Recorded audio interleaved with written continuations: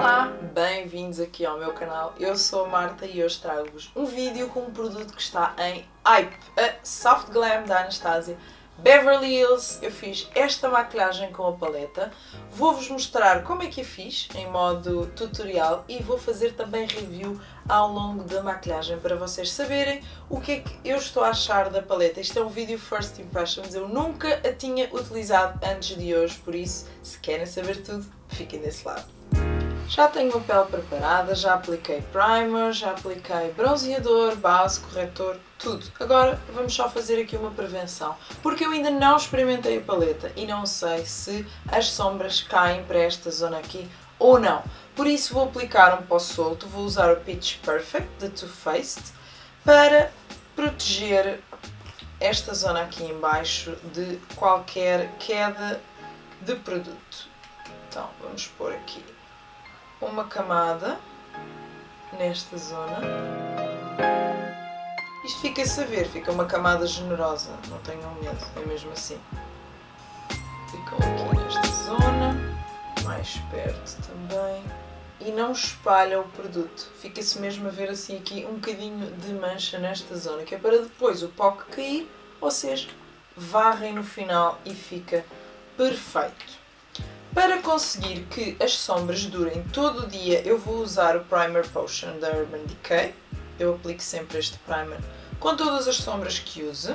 Vou aplicá-lo com o meu dedo anelar.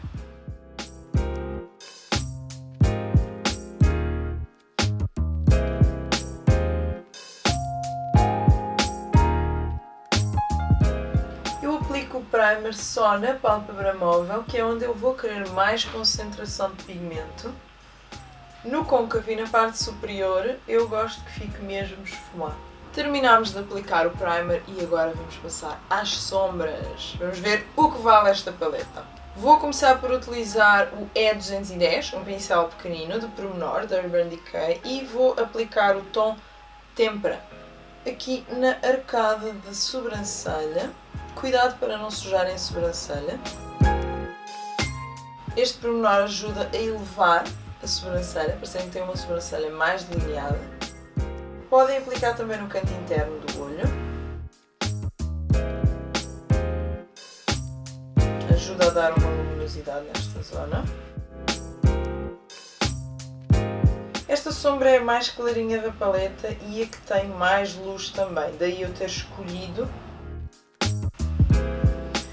Agora passamos para um tom mais quente na pálpebra móvel. Vou usar o Orange Soda, que é um tom mate, alaranjado, e vou aplicá-lo em toda a minha pálpebra móvel.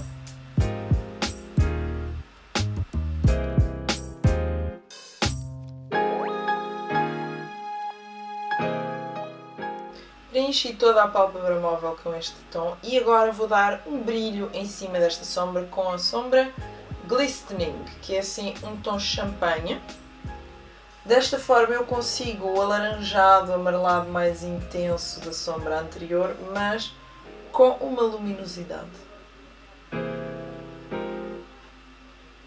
Agora com um pincel mais fofinho, assim arredondado, vou esfumar uma sombra no côncavo. Vou usar a Burnt Orange, que é um tom alaranjado assim mais torrado, e vou esfumá-la aqui no côncavo.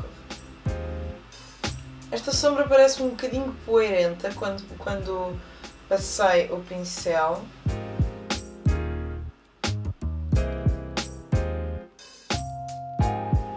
Não fica extremamente marcada, ou seja, é fácil de esbater. Para além de ser um pouco poeirenta, quando esbate esta sombra no côncavo, também cai aqui com facilidade para esta zona.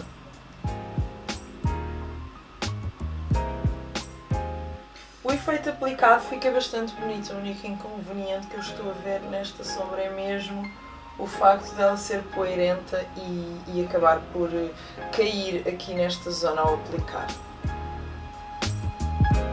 Por isso o que eu vos sugeri é, se quiserem usar esta sombra, maquinem primeiro os olhos e depois então fazem a pele.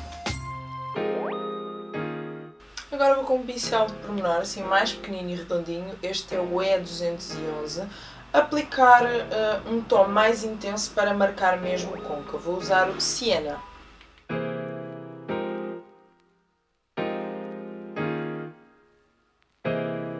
Vamos com o pincel com um pouco de pó, aquele pó que usámos ao início, varrer aqui esta zona de maneira a retirar tudo o que caiu.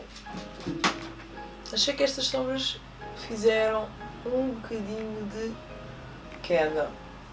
Gosto imenso da forma de esfumar e do efeito, mas não estava à espera que, que caísse tanto. Agora vamos fazer um eyeliner fininho com o Epic Ink da NYX, caneta.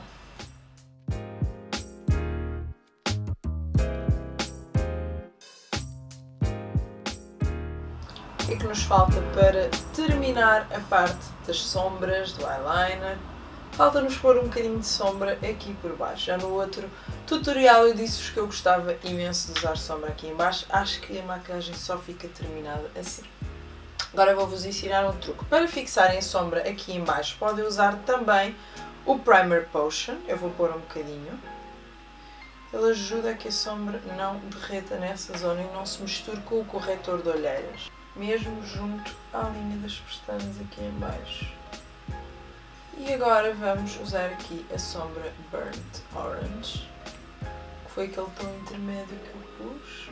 E com pequenos toquezinhos vamos colar a sombra no primer. Falta-nos máscara de pestanas para termos um olhar assim mais definido. Vou usar esta, X-Fiber, da L'Oreal, que eu tenho estado a usar. É uma máscara com dois lados. Primeiro é o primer e depois uma máscara com fibras.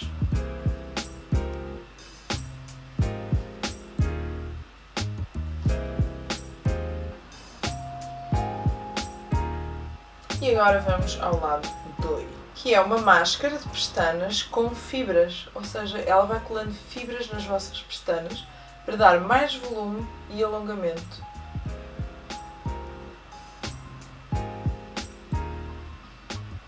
Escova tem assim uma curvatura que ajuda a esticar bem o produto. Agora vou intensificar o meu bronzeado com a paleta da Christine Liane. Ela traz três tons, eu vou usar aqui o deste lado para marcar aqui um bocadinho mais a minha maçã do rosto. A linha do maxilar. E falta iluminador.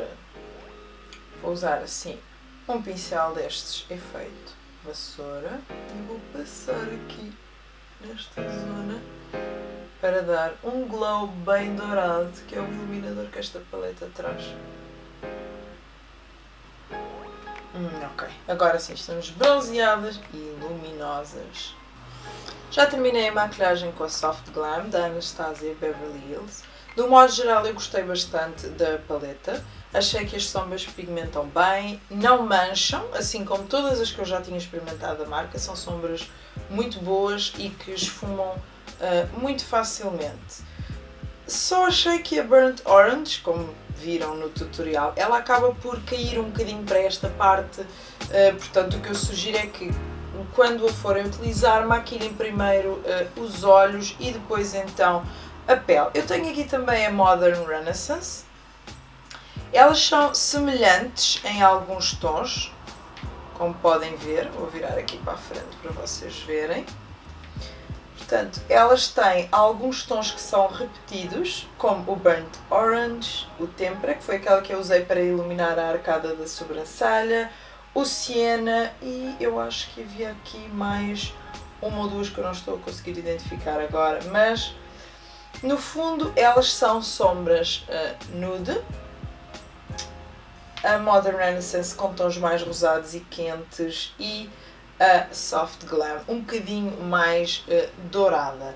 Acho que para quem já tem a Modern Renaissance não é completamente essencial ter a Soft Glam. Agora, para quem não tem a outra, é sem dúvida uma boa uh, opção. Uma coisa que eu também notei é que enquanto a Modern Renaissance tem aqui de prazo de validade 6 meses, esta, a Soft Glam, já traz 18 meses, ou seja, tem um prazo de validade bastante mais uh, alargado, o que é bom, porque é muito difícil gastar uma paleta deste tamanho em 6 meses. Gostei bastante também dos tons aqui mais brilhantes, o Rose Pink, o Sultry, o Bronze. São tons metalizados e que pigmentam muito bem. Para além disso, a nível de packaging, ela é em veludo, assim como a Modern Renaissance, e é muito elegante e muito uh, bonita, na minha opinião. Eu espero que vocês tenham gostado deste vídeo. Se tiverem algumas dúvidas aqui sobre a Soft Glam, deixem-me nos comentários. Se quiserem review e tutorial com a Modern Renaissance, também tenho todo o gosto em fazer porque é uma paleta que eu já tenho há algum tempo e gosto muito. E sobre esta pequena aqui, é uma ótima opção para um kit de maquilhagem de quem já tem muitos produtos, porque ela tem sombras complementares e até para quem não tem mais nenhuma paleta pode funcionar lindamente porque tem cores super utilizáveis. Eu tenho tentado trazer-vos agora alguns vídeos com produtos também que não se vendem cá em Portugal para que vocês possam ter opiniões se vale a pena encomendar, se não vale, se vocês gostarem deste género de vídeos like it e deixem as vossas opiniões aqui nos comentários que eu respondo sempre. Beijinhos e até ao próximo vídeo.